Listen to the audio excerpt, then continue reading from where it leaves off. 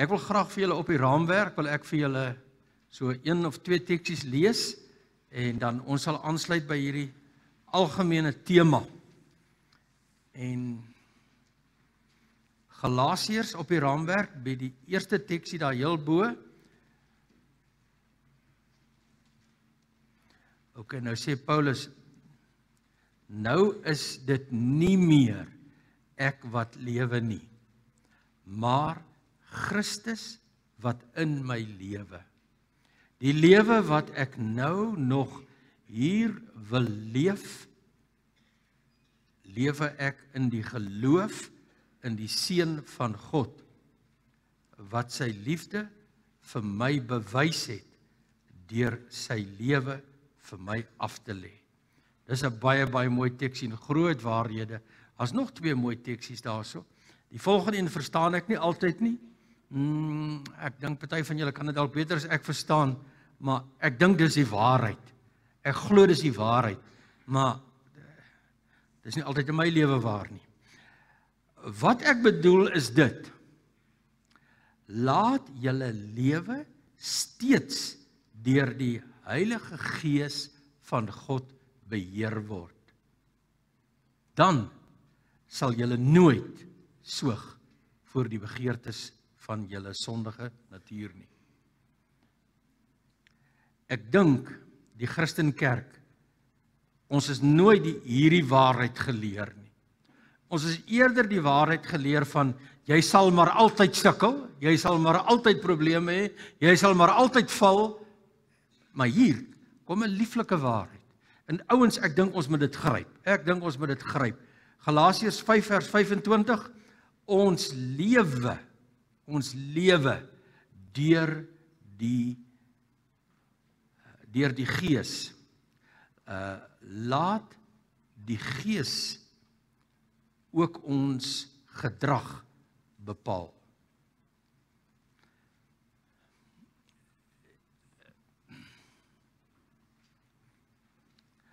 Ek wonder as ek vir een van julle moet vra wat sou julle sê is die hooftema van hierdie hele boek? Wat sou julle sê? Wat is die hooftema van julle boek? Ek was jare gelede, seker nou al 30 jaar terug, was ek op kweekskool en ek onthou dat hulle het amper 'n hele semester afgestaan om vir ons te leer wat is die tema van hierdie boek. En weet julle ouens, ek het dit toe nog minder verstaan nadat ek 'n halwe semester op kweekskool was. Maar ek is seker ek verstaan dit vandag. Ek is seker. Hierdie boek gaan oor ek kan dit in 3 minute dalk vir julle opsom. Die grootste tema in hierdie boek is dat daar wat die mense aanbetref, wat ons as mense aanbetref, dat daar twee Adams is. Daar's die ou Adam en die nuwe Adam. Die ou Adam was 'n plaasvervangende mens. Hy het gelewe in die plek van alle mense, ook in in die plek van my en jou. En hy het verkeerd gedoen en hy was 'n plaasvervangende of 'n verteenwoordigende mens en daarom het almal eintlik in Adam gesterwe en in Adam in die sonde geval en in Adam is hulle verlore. Dit is die een tema. Aan die ander kant is hier 'n ander tema. Van hier kom 'n tweede Adam. En hierdie tweede Adam lewe in geregtigheid en in goedheid en in volmaaktheid en hy tel die mense weer op en sy lewe is ook plaasvervangend. Sy lewe is ook in ons plek gelewe. En ja, hy het vir ons gehelp. Jy sien, Romeine 5, 6, 7 en 8 is eintlik een gedeelte.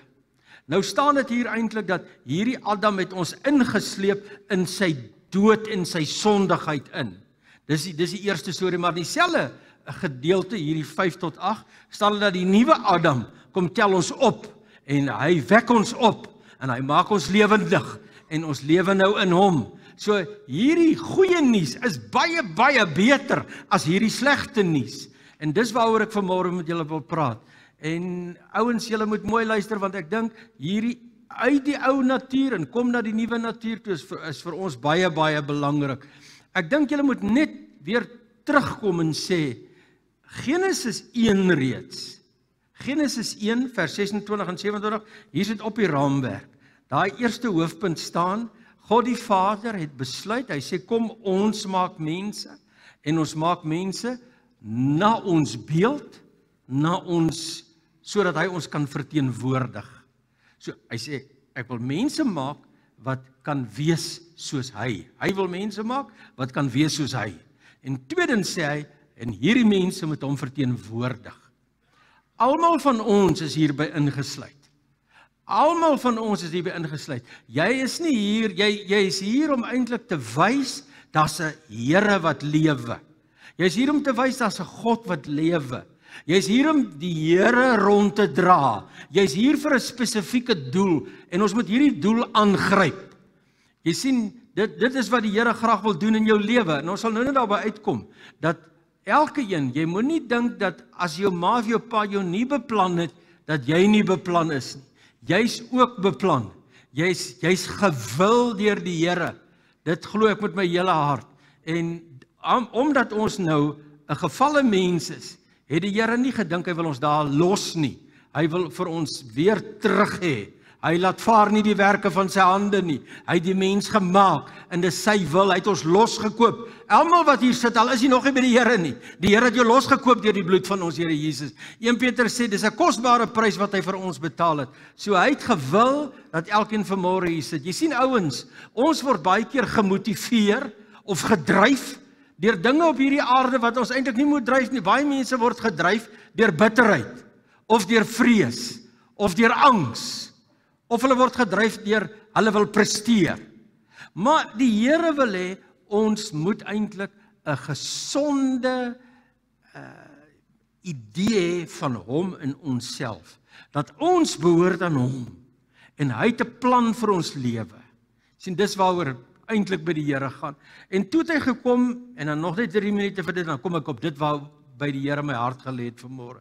En dan kom ons by Adam, die ou Adam en die nuwe Adam. En hierdie hierdie versie wil ek graag vir julle lees. Ek het hierdie versie het ek op my motor soos ek al vir julle gesê het. Ek het op my ou motor het ek baptis geskryf. En ek raak al hoe skamer hoe meer ek dit vertel. Nou op hierdie ene het ek nou Romeine 5 vers 19 geskryf. Vir my is dit die mooiste teks in die hele Bybel. Ek moet eerlikwaar sê dis die mooiste teks in die hele Bybel. Dis miskien die moeilikste teks om te verduidelik in die hele Bybel. En veral moeilik nie om dit te verduidelik nie, maar moeilik om dit te verstaan. Moeilik om dit aan te gryp. Moeilik om te sê ja, ek lewe hierin. Ek verstaan dit net nie dit afgegaan in my hart toe en nou lewe ek dit. Ek onthou verlede naweek toe ek met vakansie was, toe iemand in Kreersdorp vir my gevra, "Hoorie, waarvoor staan dit in die Bybel?" En ek kon nie in 'n minuut vir hom vertel nie. Want nou wil ons ry en dis net die nommerplaat. Toe dink ek nee, as ek weer 'n kar koop, gaan ek probeer Johannes 3:16 sit. Maar Romeine, hoor mooi wat staan hierso. Die eerste ding is jy moet besef die Here het jou beplan. Jy moet die eerste ding is jy moet besef God wil jou hier hê. Hy het jou beplan vir sy plesier. Die tweede ding wat jy moet besef vanmôre en dan kom ons by die hoofpunt is Romeine 5 vers 19. Luister nou, luister nou baie mooi. Soos baie deur die ongehoorsaamheid van die een mens sondaars geword het. Het julle dis die aardeel. Soos baie mense en dit sluit ons in.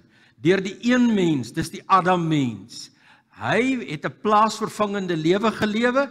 Ons is in hom sê die Bybel. Dis hoe God hierdie wêreld ehm um, hanteer of regeer of sy beginsels wat hy gelê het en ons het sondaars geword en nou is ons almal sondaars en ons doen sonde omdat ons sondaars is en nou staan ons aan die verkeerde kant van die Here. OK, so hierdie plaasvervangende mens het ons in die moeilikheid. Kyk nou die B-deel. So hy sê dis die A-deel, né? Nee? Right. So ook sal baie deur die gehoorsaamheid. Dis nou nie meer deur die ongehoorsaamheid nie. So het baie dan deur die gehoorsaamheid van die een mens het God ons vrygespreek of geregverdig. Toe kom maar 'n ander mens en as jy nou in hom is, dan word jy vrygespreek. Die groot ding in die Bybel gaan, waar's jy? Is jy in die eerste Adam of is jy in die tweede Adam? En dis eintlik ons bekering ons weergeboorte wat ons oorneem van die een na die ander een toe. Nou ek het rondom dit het ek vir julle 'n boodskap vanmôre wat ek dink wat ons miskien maklik verloor. Die Christelike lewe is nie moeilik nie. Dit is onmoontlik. Bad. Bad. Ek het reeds gesê Romeine 5, 6, 7 en 8 gaan saam, nê. Nou, die mense wat nie Romeine 5, 6, 7 en 8 mooi verstaan nie. Hulle lewe dan dikwels hulle lewe volgens Romeine 7. Dan lewe hulle lewe uit reëls uit en regulasies uit en uit hulle sterk persoonlikheid uit en hulle goeie gedrag en hulle opvoeding ensovoorts ensovoorts. Maar Romeine 8 kom gee vir ons 'n nuwe soort lewe vir die Christelike lewe. Die Christelike lewe is moontlik saam met die Here, maar sonder die Here op ons eie kan ons dit nie doen nie. En dan is ons in Romeine 7 en dan lewe ons daar en ons is altyd frustreerd en ons kry nooit die ding heeltemal reg nie en ons snap nie Romeine 8 nie. Nou julle kan sien op die raamwerke daarso lees hulle die tweede deel vers 1 Romeine 8 vers 1 het sy gewoonweg uitgetik en toe vers 2 so helder groter gemaak nê. Nee. Ouens in Romeine 8 vers 1. Julle moet nou dis dis nou my my ding wat ek op my hart het vandag. Romeine 8 vers 1 sê laat ek net dit sê as ek Romeine die die hele bekering en die hele weergeboorte hier gebeur baie dinge. Hier gebeur ongelooflik baie dinge. Ons word 'n kind van die Here en dit en dat en dat. Hier is baie dinge wat gebeur hierso, baie wonderlike dinge. Toe ek getrou het, toe het ek nie altyd geweet wat dit nou met my gebeur nie. Ek het nie mooi verstaan nie. Ek het maar geleer deur die jare wat het nou met my gebeur. Ek het deur die jare al hoe meer geleer, maar dit was 'n wonderlike dag. Maar ek het nie daai dag besef hoe wonderlik dit was nie. Ek het my al hoe meer deur die jare geleer, geleer hoe wonderlik dit was. Nou, ek wil vanmôre vir julle want op 'n of ander manier sien ek die duiwel kom steel hierdie ding by ons al verstaan ons dit. As steel die duiwel. Dit gaan nou gaan oor die Heilige Gees. Romeine 8 vers 1 sê: Ons kom tot bekering En nou kom ons in die nuwe lewe. Ons raak nou weergebore, ons raak nou kinders van die Here en nou kom ons in die nuwe lewe. Nou gaan ek die hele oggend net praat oor die eerste beginsel van die nuwe lewe. Die eerste waarheid van die nuwe lewe. Die eerste ding in Christendom, die hoofsaak in Christendom is dit waaroor ek nou vanmôre gaan praat, né? Nee? Sodat julle dit moet onthou. En dit gaan oor die werk van die Heilige Gees. Net voor ek daaroor praat, ek wil vir julle almal herinner dat ek gaan 'n kursus aanbied 7 of 8 weke. Ons begin die 13de Augustus, die Dinsdag aand. En dan die Donderdag die 15 en Sondag is dan die 18de. Maar nie elke dag jy kom jy kies net een van daai 3 dae wat jy wil kom wyfboon. Want party ouens kan makliker op Donderdag kom, party ouens kan makliker Sondagmiddag kom tussen 5 en 6. Ander ouens kan mak verstaan julle. En ek wil so graag vir julle almal motiveer, vir julle almal uh oortuig. Ek wil guns by jou kry om te sê jy wil jy wil kom. Ouens, ek praat nou weer hieroor. Nou sit jy vanmôre hier en jy voel dalk 'n bietjie asof jy op die agterstoel sit want jy dink dalk weet jy nie so baie van die Heilige Gees nie. Ek is persoonlik van mening dat baie meer mense in ons land is kinders van die Here al weet hulle nie baie van die Heilige Gees nie. Ek dink nie dit is so verskriklike belangrike ding dat jy jou ewige lewe sal verloor as jy nie baie van die Heilige Gees weet nie. I don't think so. 'n Mens word 'n kind van die Here deur die Here Jesus Christus. En ek dink baie van julle en ek het dit baie in my lewe al gesien in ons land baie mense wat min of amper niks weet van die Heilige Gees nie, maar wat werklik by die Here is en werklik die Here uitlewe. En ek wil hê julle moet ook die kursus kom bywoon, want dit is vir ons belangrik om eintlik maar die drie persone van die drie eenheid te ken. Want hoe meer ons hulle drie saam ken, hoe beter kan hulle drie ons saam bedien. Ek dink ons moet nooit nooit eintlik so ver, ons gaan te ver om so die drie persone van die drie eenheid te te skei. Ons kan mis, ons moet nooit skei nie, ons kan onderskei. Want weet jy, ek het nou gesien sommer net hier met die Heilige Gees, net net om dit te sê. Baie keer sê die Bybel God se Gees, die Gees van God. God se Gees, die Gees van net nou sê hy die Here Jesus se Gees. En die Here Jesus stort sy gees op ons liggaam uit. En net hoe sê hy weer dan dan is dit weer sy gees en dan is dit weer God se gees. Dan vra hy weer vir God die Vader, die Heilige Gees om hom uit te stort, jy weet. So die is so bymekaar. Ek het my verbaas. Jare gelede het ek 'n kerk gekry wat gesê het nee, daar's twee Heilige Geese. Die een is die Gees van Christus en die een is die Gees van God. Dis weird. Dis weird. Maar waar was ek nou? Ehm um,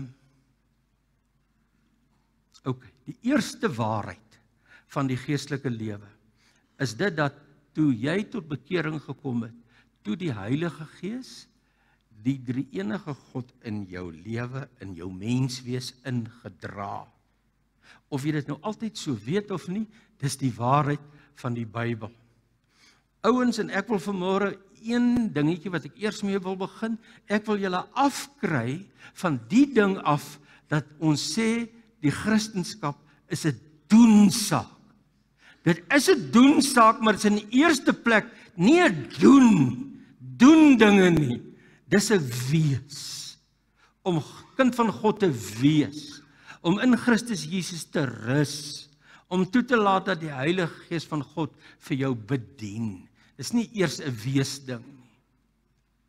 Dan hierdie Galasiërs 5 vers 16 sê in die ou vertaling waarvan ek nogal hou, Galasiërs 5 vers 16 sê wandel in die Gees. So wie is die Heilige Gees? Die Heilige Gees is die een wat vir jou regtig wil help om die geestelike lewe te leef. Die Here Jesus sê iets moois. Hy noem hom sommer die helper. En dit was nou vir nou vir my interessant as mens regtig mooi daarna begin kyk en jy kyk hoe dikwels was die Here Jesus se lewe toe hy hier op aarde was in een gevleg met die lewe en die werk van die Heilige Gees. Dis jy dit dis vir my baie pragtig en so moet dit met ons ook wees want Christendom is 'n saamlewe, saam met die Here, saam met die drie eenheid. En ouens luister baie mooi. Ek wil nie vir julle in die kursus leer hoe jy ander kerke of ander mense kan regsien nie. As jy dit wil leer, dan is dit die verkeerde kursus. Dan moet jy nie na hom toe kom nie. Dit gaan ek gaan jou nie leer om teen Calviniste te wees of teen Pinkstermense te wees nie. Ek het regtig, ek glo die Here gaan vir my help. Ek het 'n begeerte in my hart dat ons dat ons ons daai dinge sal aflê. Maar weet julle wat wil ek vir jou leer? Dat die Heilige Gees is daar om vir my te help sodat ek ander mense kan seën. Die Heilige Gees is daar om vir my te help sodat ek ander mense kan respekteer. Die Heilige Gees is daar vir my om God te dra na ander mense toe sodat ek 'n positiewe verskil in ander mense kan maak. Die Heilige Gees is daar sodat ek ander mense toe na die Here toe sal trek. En as jy op daai pad is vanmôre, dan wil ek sê, man, jy's op die regte pad.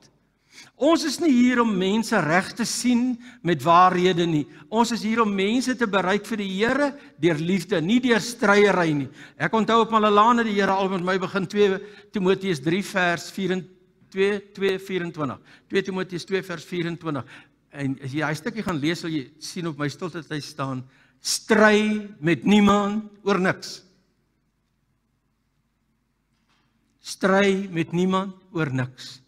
So as ek vir jou kan help sodat jy kan ander mense die Here bedien, die Here uh, na hulle toe dra, dan sal ek baie tevrede wees. 7 of 8 weke. Dis dis die doel met daai kursus. Maar luister nou mooi. Wat wil die Heilige Gees doen? Daar bo aan die raamwerk het ek geskryf, wat wil die Heilige Gees in my met my of vir my? Wat wil die Heilige Gees in ons, met ons of vir ons doen? En elke ou moet nou mooi luister want jy behoort dit nou te kan neerskryf vanmôre. Jy behoort mos te kan sê Here, doen hierdie ding in my lewe asseblief. Ek wil graag hê u moet my u moet my help om dit te doen. So ek sou sê die dag toe jy die Heilige Gees ontvang het, het jy dalk baie meer ontvang as wat jy ooit dink. Jy het daardie dag nie net vergifnis van sonde ontvang nie. By jou bekering het jy nie net die ewige lewe ontvang nie. Jy het nie net kind van die Here geword nie. Jy het iemand ontvang. Sê 'n bietjie amen man. Jy het iemand ontvang. Iemand woon binne in jou. En die hele ding gaan eintlik daaroor dat ons sal bewus word voortdurend van hierdie iemand. Hierdie iemand wat binne ons kom woon en hierdie iemand wat vir ons wil kom help hier in met ons lewe. En uit die aard van die saak kan ons nie altyd onthou van die iemand nie. Ek onthou op Madelaan was altyd 'n ou gewees wat regtig probeer het om by die Here te bly, Tolly. En Tolly het altyd vir my gesê, "Nou kom en hy lê amper." Nou sê maar ek het ek het 5 ure lank van die Here vergeet. Maar as jy net gewerk, net gewerk. Ek onthou Vrydag aand, Vrydagmiddag het ek begin na boodskappe luister. En ek was die hele aand was ek besig tot omtrent 9 uur. Ek het Linie 3 uur ge, gelaas gesien en toe weer 9 uur. Sy was maar daar besig met haar dinge. Ek was hier besig met my ding. Maar ouens, ek het nie daai tyd nagedink nie. Wat dink julle ek het haar nog lief gehad? Natuurlik man. Jy weet en die duiwel kom ons so maklik en baie keer as jy so besig in die dag en jy werk met jou eie dinge en jy vergeet van die Here. Maar dis nie te sê jy ken nie die Here nie en jy's nie by die Here nie. Maar hierdie ding waaroor ek met jou julle wil praat nou ouens is die Heilige Gees se eerste werk na bekeer. Sy eerste, dis die eerste beginsel, dis die eerste waarheid in die geestelike lewe. En jy ontvang hom nie by 'n dominee nie. Jy ontvang hom nie by 'n kerk nie. Jy ontvang hom nie op 'n CD te luister nie. Jy ontvang hom nie by 'n konferensie nie. Jy ontvang hom nie by een of ander ervaring nie. Jy moet hom maar net elke oggend of ten minste een keer 'n dag moet jy hom vat in die geloof en lewe in die geloof en dit is die hoogste werk van die Heilige Gees dat hy die Here Jesus Christus in jou lewe indra en dat hy hom hier diep diep binne in jou vestig en hier van diep diep binne in jou wil die Heilige Gees vir jou help en wil die Here Jesus Christus sy lewe deur jou lewe leef. Sê jou amen. Dis waaroor dit gaan. Dis waaroor die hele geestelike lewe gaan. Oor die, die dis die eerste beginsel. Jy sien, Natuurlik is ons bly daaroor dat God die Vader ons sonde gevat het, sondes gevat het en dit weggegooi het, agter sy rug gegooi het en daarvan vergeet. Natuurlik is ons bly daaroor. Ouens, maar ons bly nie daar nie. Dit is hier by bekering, dis hier by weergeboorte. Dis waar hierdie dinge vanaf kom. Maar nou, die Here Jesus Christus ouens kom dra ongelooflike geestelike skatte in ons lewens in. En die eerste is daarvan ons moet bewus word van hom. Ons moet bewus word van hom in ons lewe. Ons het nou baie meer ontvang baie meer as wat ons ooit amper dink. En hy kom en hy kom woon hier in ons binneste binneste mens wees en hier van binne af wil hy sy lewe deur ons lewe. En ons kry vermoëns, ons kry spesiale Christelike vermoëns, nie apart van die Here Jesus nie. Dis deel van sy inwoning. Dis deel van sy teenwoordiging. Dit gaan eintlik oor hom. Dit gaan nie dat ek vermoëns ontvang om nou geduldig te wees en nou bid ek môre weer vir 'n bietjie geduld en weer vir 'n bietjie dit. Ouens, die Here Jesus dra in sy persoon dra hy geduld en vrede en liefde en vergifnis en dra hy dit wat aan hom behoort. Dra die Heilige Gees en bewerk. Ek wil amper sê man, amper soos ons ons mens wees ons binnewerke hy beïnvloed dit. Jare terug het ek iemand hoor sê as mense 'n koppie tee vat is 'n chemikus nou weet ek nou wat waar is nie julle chemikuste sal weet. As jy 'n koppie tee vat en jy vat nou die sak en jy sit hom so in dan begin hy mos so oplos nê nee. en as jy nou heeltemal opgelos het dan haal hy hom uit en dan is daar nie meer een deeltjie wat tee is of koffie is nie. Alles is water. Nee, alles is water en alles is tee. Hulle het nou een geword met mekaar. Nou miskien in dieselfde sin wil ek sê die Here Jesus wil in ons lewe en in wees. Ouens, en wie julle was een van die maklikste dinge om oor sondes te kom? Is die die teenwoordige, die bewustelike teenwoordigheid van die Heilige Gees wat die Here Jesus vir ons leer en dan as hy binne is, dan verdamp die sonde. Sê 'n bietjie amen. Dis hoe jy die, die dis hoe jy die verkeerde goeders los. Dis hoe jy die die regte dinge aanleer is deur die teenwoordigheid van die Here Jesus en dit gaan daaroor dat ons hom sal kroon. En ek wil weer herhaal man, ek wil weer herhaal, dit gaan nie oor hoeveel ons weet nie, dit gaan oor hoeveel hoeveel adoration daar in ons harte is vir die Here Jesus en vir God die Vader en hoeveel waardering daar is vir die Heilige Gees in ons lewens. Dit gaan nie oor hoe baie ons weet nie ouens. Ouens, dit gaan nie oor hoe baie ons weet nie. Dit gaan of ons ons die Here Jesus laat dra na iemand toe of ons die die liefde van God uitlewe en hom dra na iemand toe, na iemand anders en iemand anders seën en iemand anders bemoedig. Die Here Jesus noem hom die helper. Hy praat van die helper. Ek onthou baie goed in my lewe as ek nou so praat van baie. Ek was 5 jaar teologie ontvang en dan sit 'n mens op die ouend. Ek is nie teen teologie nie, ouens, regtig. Ek dink is verkeerd as ou nie uh, studeer nie. Maar ek het baie baie slegte dinge ervaar en ek is so spyt, ek is so jammer. Ek dink ek het dit al ook baie baie keer gedoen. En omtrent toe ek op kweekskool was, was daar 'n man in Suid-Afrika, ek dink hy is die, ek gaan nie sy naam noem nie. Hy's die slimste en die grootste teoloog in die Republiek van Suid-Afrika. En hy daag 'n ander man uit vir 'n openbare debat om met hom te kom stry, om met hom te kom debatteer. Ek dink sulke tipe dinge is oneer aan God. En hierdie man het met hierdie man gemors. En hierdie man was baie intellektueel. Hierdie man was baie slim. Hierdie man het al die intellektuele vermoëns gehad om enige ander ou mee te mors. My grootste probleem is ek is vandag nog kwaad vir. Hierdie man was reg. Maar hierdie ou was te slim. Nobody cares how much we know. Nobody cares how much we know until they know how much we care. Sê weer ja toe. Sê dit sê amen dan julle ander. Jy sien dis waar dit gaan. Ouens en ek wil nie vir julle praat vanmôre hier dat julle nou vir iemand anders gaan sê, maar luister, ek kan nou vir jou drama gee oor hoe jy dink oor die Heilige Gees. Dit maak nie saak nie. Dit maak nie saak, dit maak saak of jy eer en het vir die Here en jy respek het vir ander mense en of jy kan begin sien maar die Here het 'n roeping op jou lewe man.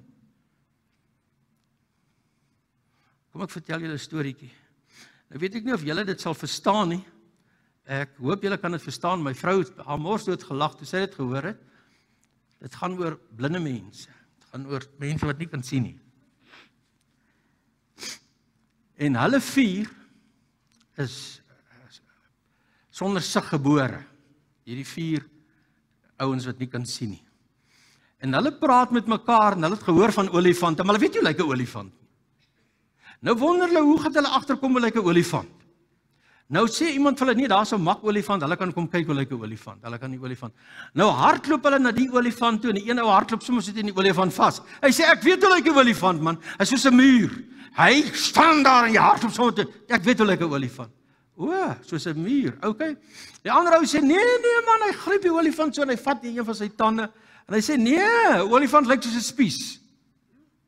O, OK. Die ander ou weer, hy gryp die olifant en sy slurpie, so hy kry al sy slurpbeet. En hy kyk so hy sê nee man, olifant lyk nie soos 'n muur of soos 'n spies nie. Hy lyk soos 'n trompet. Ek sê gaan so nou oor, jy weet. Die ander ou weer, hy's net weer hier rond en hy gryp die olifant die agter in sy ster. Hier kom 'n lag. Hy sê die olifant lyk soos 'n tou. Wie was reg? Hoekom dink ons ons weet alles van die Here af? Hoekom dink ek en jy ons ervaring is die enigste wat reg is? Ons idee, ouens, kom ons dien die Here en die Bybel sê kom ons dien mense. Dis hoekom ons hier is. Dis hoekom ons op aarde is. Dis wat die Here vir jou wil doen. Dis wat hy vanmôre vir jou wil doen. En die die Here Jesus in ons hart, ek glo in ons kroon hom en dis die eerste beginsel van die Christelike lewe dat jy sal bewus wees van die Here Jesus Christus hier in jou binne mens en dat jy hom die geleentheid sal gee om sy lewe te lewe deur jou. Dit bring jou lewe op 'n ander dimensie. Dit bring jou lewe op 'n ander kwaliteit, op 'n ander sensitiwiteit. En soos wat ons aangaan hier diep van binne af, dan vergroot hierdie kapasiteit. Sê net maar ek loop nou hier by julle en julle gee vir my KitKats en ek gaan so en ek laai die KitKats op. Dan het ek 'n sekere kapasiteit om KitKats te vat. OK? Nou los ek hulle en ek vat vir my emmer. Nou loop ek weer. Kry weer. Kry ek dan meer? Ja. Dan vat ek 'n krywa. Nee, ek sit ek die emmer neer. Dan loop ek met 'n krywa uit tussen julle deur. Nou pak julle hom vol KitKats. Hoor nou mooi wat ek vir julle sê. 'n Mens se kapasiteit met die Here Jesus, met die Vader en die Heilige Gees verhoog soos jy meer van jouself gee, soos jy meer van jouself gee. En ek weet daar's 'n sterk beginsel in dit, maar ek wil iets langs te sit. Ek wil net 'n ander waarheid net voor julle lê en dat julle net luister. Ouens, daar word baie vir ons geleer. Ek sê nie dis verkeerd nie. Daar word baie van ons geleer, nee, jy moet sterf van self nie, jy moet alles opoffer nie, jy moet alles gee en jy gaan aan die ander kant uitkom en dis maar 'n moeilike ding. Dis nie waar nie. Daar's 'n groter waarheid. En dit is alles van die Here is baie meer as alles wat jy moet prys gee. Sê amen man. Alles wat jy kry by die Here is baie meer werd as wat jy afgee. Jy sien baie mense dink nee maar as ek die Here Jesus Christus nou kroon en hy kom nou vir my eerste, nie meer my kerk nie, nie meer my dominee se leringe nie, maar Jesus. Pas hierdie ding in wat Jesus sê. Pas die ding in by God die God die Vader se karakter in die Here Jesus en die Heilige Gees. So as as die as my kerk so sê in die Here Jesus se se se hart is so, dan moet ek so gaan. Jy sien, laat ek so sensitief raak vir hom, so by hom wees dat ek hom wil uitlewe, sy barmhartigheid en sy aanvaarding van mense. Jy sien, dis waaroor dit eintlik gaan. Dis waar dit eintlik gaan in die Christelike lewe. Dit gaan nie oor al al hierdie ander dinge nie. Jy verloor nie jou persoonlikheid nie, man. Jy jou persoonlikheid word vergoddelik. Sê wie amen? Jy sien almal van ons se persoonlikheid het iets in wat sleg is wat nie mooi is nie. Maar die Here Jesus, hy maak jou adel of edel. The nobility, the dignity of humanity is op die tafel. En vir jou ook, jy moet ook na jouself kyk as individu. Nie net as individu nie, maar jy speel 'n rol in hierdie lewe. Jy's 'n pa in 'n huis. Jy's 'n jy's 'n moeder in 'n huis. Jy's 'n mens. Jy's 'n mens. Jy het die voorreg om God te dra van mens tot mens en van werk tot werk en van persoon tot persoon. Ouens, moenie dink dis net vir Andrew Murray nie. Andrew Murray sê ek het 'n stukkie van hom gelees. Hy sê jy moet vir die mense sê, dis moontlik vir ons almal. Jy moet vir die mense sê, ons almal is hier om God uit te lewe. Sê amen man. Of jy moet sê ek gryp dit. Dat jy kan vir mense laat voel. Hoe voel dit? om naby die Here te wees. Dat dis kwaliteit lewe. Ek het mos gesê jou persoonlikheid verander nie. Dis die goed wat krom is in 'n mens se lewe, natuurlik sal dit verander. Natuurlik word ons beter. Ek wil nie so gelos word voor ek doodgaan nie. Ek wil nie niks beteken nie.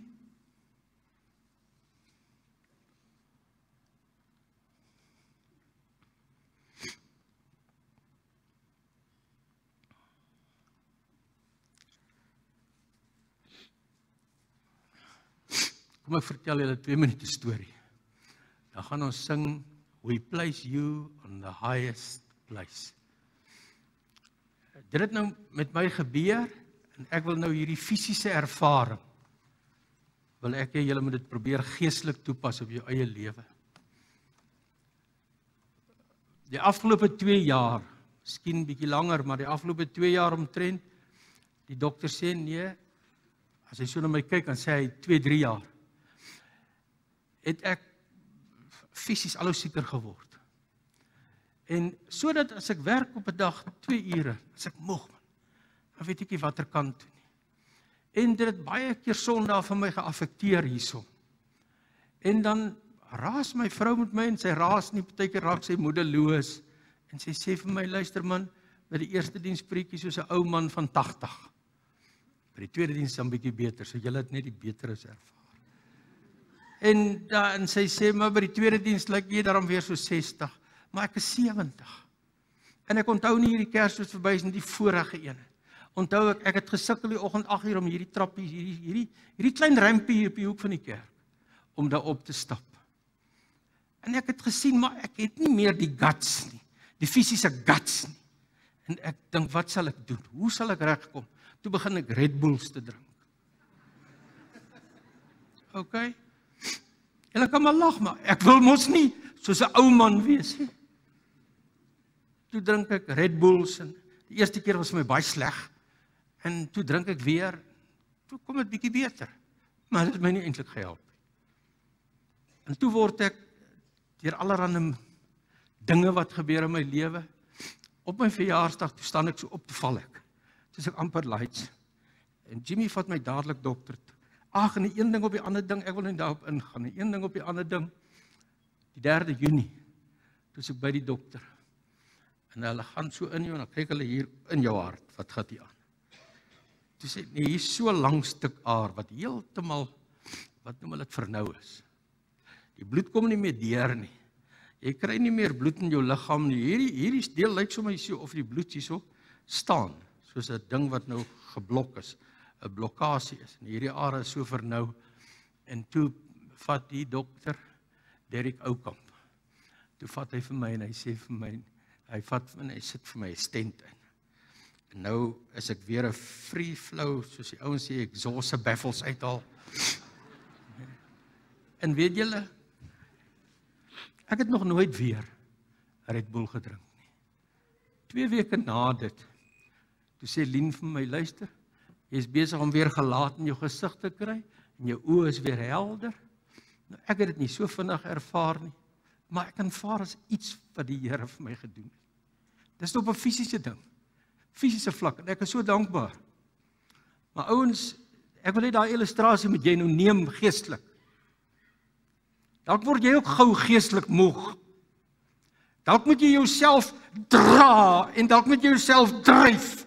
Jy weet soos baie mense word mos gedryf deur bitterheid, onvergewensgesindheid. Party mense word gedryf want sy vrou is Christelik. Hy moet ook wees. En ek het nie altyd die guts om myself te dryf nie, jy weet. Miskien is jy ook moeg vanmôre.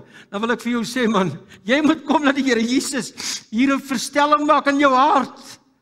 Of jy moet vir hom sê Here Jesus, ek weet U's in my, maar ek wil U kroon vanmôre. Here Jesus, U moet vra die Here soos jy wil man. Vra hom net soos jy wil. Hy moet net iets vir jou doen sodat jy die heerlikheid van Jesus in jou hart kan dra.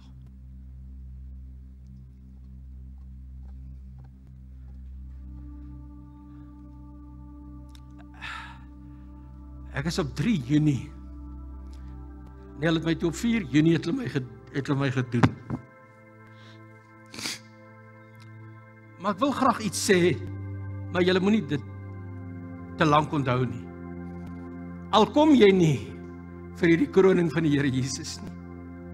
As jy nou in die Here boord jy by in die hemel toe gaan. Maar ouens, met alle respek wil ek sê God het jou nodig. Hy het jou nodig in Bloemfontein. Hy het jou nodig in die kerk. Hy het jou nodig by jou huis.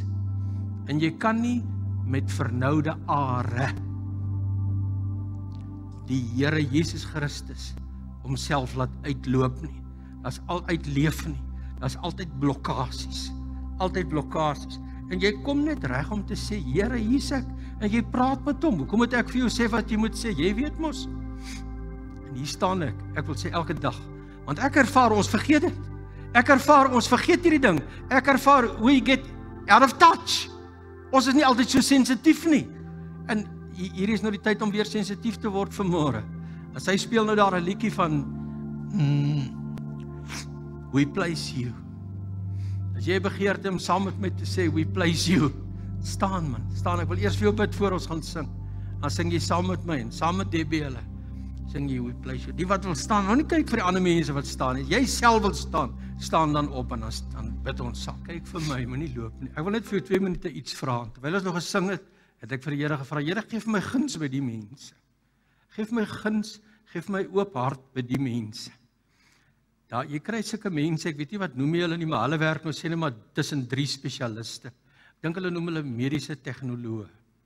Hulle het al hierdie goed waarmee hulle jou toets en hulle het so drie spesialiste wat nou om hulle werk.